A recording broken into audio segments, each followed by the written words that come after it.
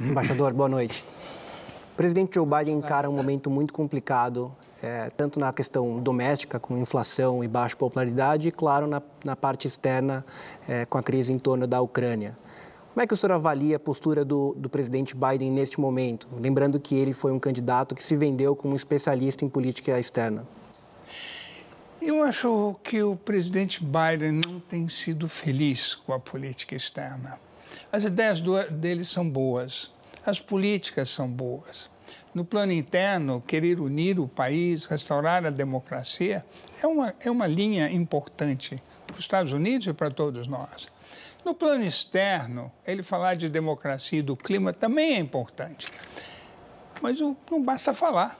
E o problema é que ele conseguiu pouco não só na questão do clima, em que a sua cúpula do clima coincidiu com uma crise de energia que vai limitar muito daquilo que os países, inclusive os Estados Unidos, podem fazer.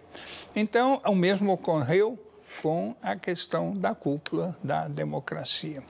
Eu acho que o presidente Biden ficou agora com uma situação difícil, porque ele claramente estava buscando evitar e ele mesmo disse isso, evitar uma eclosão de uma crise na Ucrânia. Mas agora como é que fica? Ele terá que tomar medidas, ele terá que adotar sanções, porque senão ele será percebido mais uma vez pela comunidade internacional como um presidente fraco, e isso vai ser um prato feito, sobretudo, para o ex-presidente Trump. Tem aí uma dimensão interna importante em todas as inclusive em todas as políticas que ele tem adotado também no setor externo. Agora, que tipo de medidas ele vai tomar?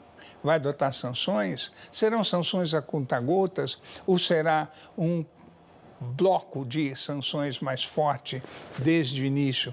Ele fará um par e passo com as uh, medidas que o, presidente Putin estará tomando, a cada medida corresponderá uma sanção, isso nós só vamos saber quando uh, o tema evoluir. Mas, de qualquer forma, eu acho que Biden se viu numa situação diferente, porque poucos acreditavam que fosse possível que uh, o Putin fizesse o que fez. É muito grave, porque ah, nós estamos falando de dois países, de duas potências que têm arma nuclear.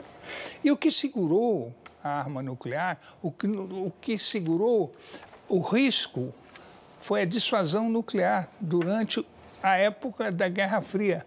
E se essa situação escalar? Uhum. Se nós tivermos uma escalada, como diz Clausewitz, né? a lógica da guerra é a escalada aos extremos. Você poderá começar com os, os, os, as novas repúblicas da área separatista, mas poderá entrar em áreas maiores. Porque um, um dos problemas do texto que o Putin liberou hoje é que ele deixa aberta a perspectiva de que não parou por aí não se trata apenas da entrada do, da, da, da Ucrânia na NATO. O que se trata é de que ele não está de acordo com a ordem internacional pós-Guerra Fria, que ela foi desfavorável à Rússia, que ela foi contrária aos interesses russos, russos e talvez precisará